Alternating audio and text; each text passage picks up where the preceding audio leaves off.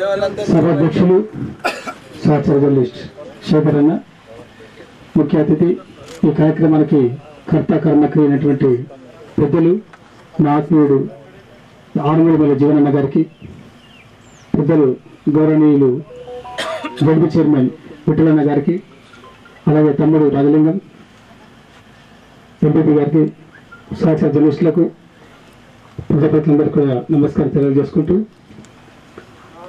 తెలంగాణ కోసమే తెలంగాణ జర్నలిస్టులు అనేటువంటి ఒక స్లోగన్తో తెలంగాణ ఉద్యమాన్ని ముందుకు తీసుకుపోయినాం. అందులో నిజామాబాద్ జర్నలిస్టులు ముదిరి బాధన ఉన్నారు. తెలంగాణ ఉద్యమాల్లో కీలకంగా పనిచేసినటువంటి జర్నలిస్టులను కొంత మరిచేయడం అనేటువంటి బాధ కలిగింది. ఆ బాధను ఉపశమనం చేస్తూ జీవనాన్ని ఇచ్చినటువంటి ఒక మంచి వేదికను మనము ఇవాళ సద్వినియోగం చేసుకుందాం అనేటువంటి ఒక ఆశాభావం కలిగింది.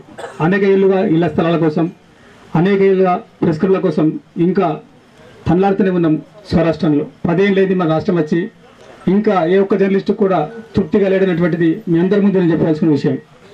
చాలా మండలాల్లో ఇప్పటికీ జర్నలిస్టులకు ఇళ్ళ స్థలాలు లేవు. ఇప్పుడిప్పుడే నిజామాబాద్లో మొన్న కవితమ్మ గారు జీవనన్న బారెడ్డి భువన్న మాకు గుండారంలో వీళ్ళకి శంకుస్థాపన చేశారు. కానీ త్వరలో కారు రూపం దర్శపడుతున్నటువంటి విషయం మీకు తెలియజేస్తున్నాను. అయితే నిజానికి ఇప్పుడు ఇంకోటి ప్రమాదం ఉన్నది. మీరు మీ ముందర ఉంచాలనుకుంటున్నాము.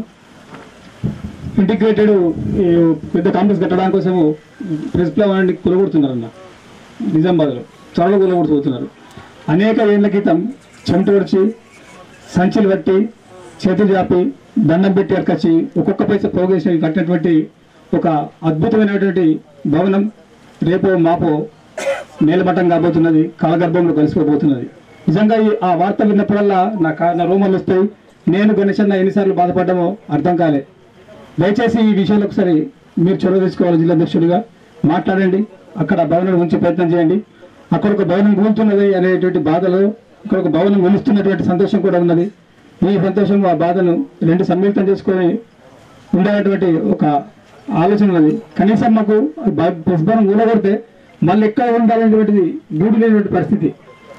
ఎన్ని అందరు ఇప్పుడు కాదు, ఒక దాదాపుగా ముప్పై ఏళ్ళుగా జర్నలిస్ట్ అంతా కూడా నిజామాబాద్ ప్రెస్ క్లబ్లో ఉండి వాళ్ళందరికీ నిర్ణయించినటువంటి ఆ భవనం నిలమట్టం కాబోతున్నటువంటి విషయం బాధితున్నది ఒకవైపు సంతోషం మరోవైపు తీరని బాధ. దీన్ని దయచేసి ఒకసారి మీరు ఆలోచన చేయాలా? ఇది వేరే అవునో కాదు తెలియదు కానీ మళ్ళీ ఇంతమంది కూర్చొని మాట్లాడుకునే సందర్భం రాదేమన్నటువంటి సందర్భంగా నేను మీకు మనవిస్తూ వస్తున్నాను దయచేసి ఈ వ్యవహారాన్ని నేను మాట్లాడితే కొంతమంది ఇబ్బంది అనిపించవచ్చు కానీ చెప్పక తప్పదు. ఎందుకంటే మన హక్కుదారులం. తెలంగాణ రాష్ట్రానికి మొట్టమొదటి హక్కుదారు ఎవరంటే జర్నలిస్టే. ఎక్కడ ఏ ఉద్యమం జరిగినా మేమున్నాం. ఎప్పుడు ఏ ఆందోళన జరిగినా మేమున్నాం. ఎవరికి ఏ బాధ వచ్చినా మేమున్నాం. అందుకోసమే తెలంగాణ కోసమే తెలంగాణ జర్నలిస్ట్ అనే స్లోగన్ ఎత్తుకొని ఈ రాష్ట్ర వ్యాప్తంగా ఉద్యమం చేసిన సందర్భం ఉన్నది. దయచేసి మాకు ఒక చక్కనటువంటి ఫంక్షన్ కట్టుకోవడానికి స్థలంతో పాటు యాభై లక్షల రూపాయలు ఇచ్చారు ఇంకా అవసరమైతే పెద్ద మనసు జీవనన్నది ఒకసారి కమిటీ ఏంటంటే హండ్రెడ్ పర్సెంట్ చేస్తాడు. అది నాకు తెలుసు ఎందుకంటే నాకు జీవనానికి ఉన్నటువంటి సాన్నిధ్యం అది. తెలంగాణ ఉద్యమంలో కలిసి పనిచేసిన వాళ్ళము. తెలంగాణ ఉద్యమం కంటే ముందు కలిసి పని ఉన్న వాళ్ళము. చాలా దగ్గర వ్యక్తులము. సో ఈ ఈ భవనాన్ని మొత్తం యాభై లక్షలే కాకుండా ఒక మోడల్ బిల్డింగ్గా ఫుల్ ఫ్లెడ్జ్గా మీరు కట్టిస్తారన్నటువంటి ఆశ మాకున్నది.